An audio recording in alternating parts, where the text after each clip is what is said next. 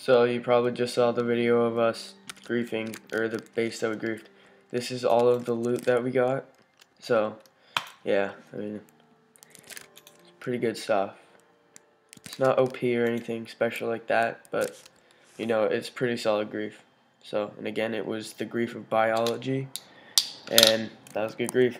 So, yeah.